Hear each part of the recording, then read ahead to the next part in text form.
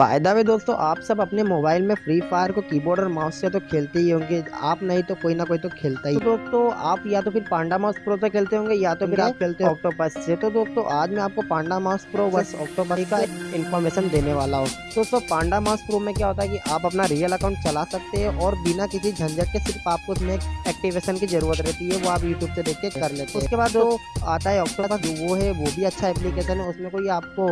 activation की जरूरत नहीं पड़ती है बट गाइज आपका उसमें रियल अकाउंट नहीं चलता है और अगर गलती से चल भी जाता है तो दोस्तों उसमें बैंड होने के चांसेस हो जाते हैं तो, तो कौन सा एप्लीकेशन दोस्तों बेस्ट है पांडा मस्क्रो या तो फिर ऑक्टोपस तो दोस्तों मुझे नीचे कॉमेंट में बता देना और हाँ यार दोस्तों कमेंट बॉक्स में अपना इंस्टाग्राम का लिंक भी दे दिया यार तो यार फॉलो कर लेना